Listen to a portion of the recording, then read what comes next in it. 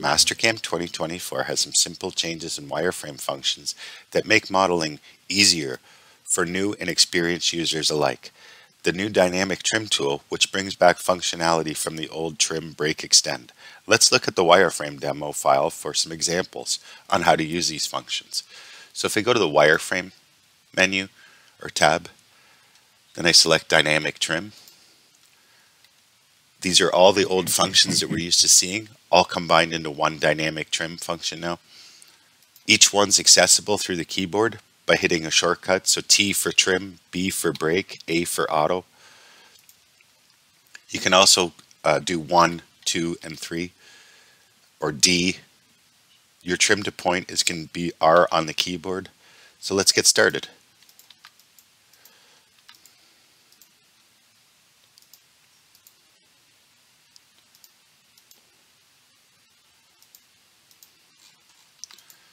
Trim one entity, I'm hitting one on the keyboard.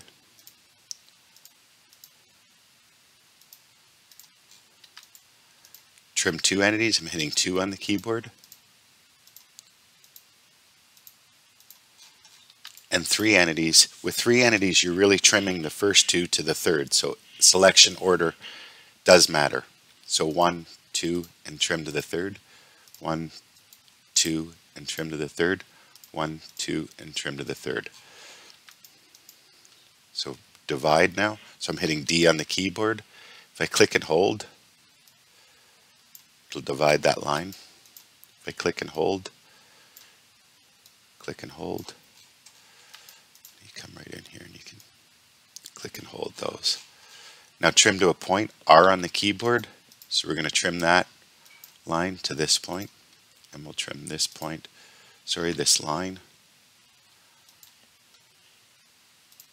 To that point. And lengthen so we can hit L on the keyboard. And we can set that to 250 and we can extend those lines.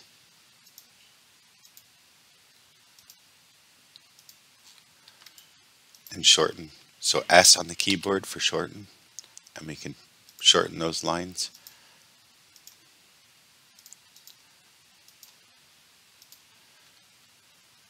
So that's the new dynamic trim for Mastercam 2024.